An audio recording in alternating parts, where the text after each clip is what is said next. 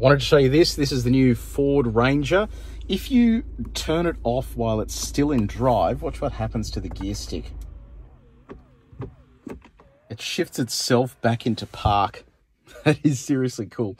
So there's no chance of the car zooming off on its own or not being in park when you switch it off.